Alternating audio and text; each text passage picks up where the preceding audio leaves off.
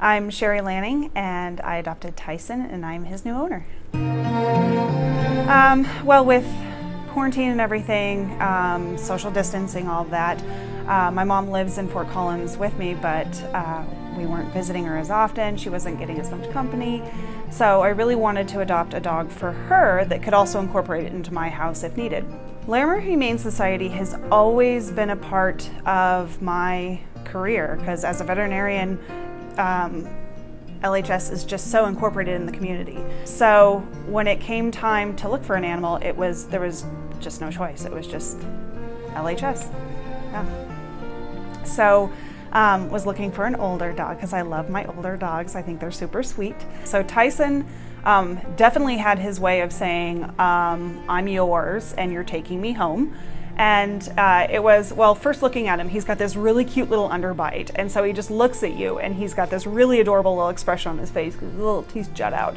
And then when we took him outside into the run, um, he's very independent. He went around, sniffed on his own, um, kind of paid attention to me, but really was like, I'm going to go check out this place. And then when I called him over and I was like, Tyson, come here, um, he came over and flopped on his back, feet in the air and said, Here's my belly, and this is what we're going to do for the rest of my life. And I said, Okay.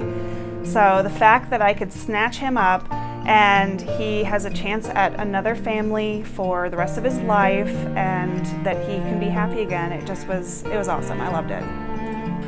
My message for anyone looking for a furry friend um, do not overlook the old dogs. They are such just wonderful beings that will grab your heart. The older dogs are just um, so wanting to give love to someone and so willing to be part of a family and they're perfectly fine with going into home and saying this is who I am and I'm happy to be on my sweet little bed and nap all day long and I love it. They're just wonderful.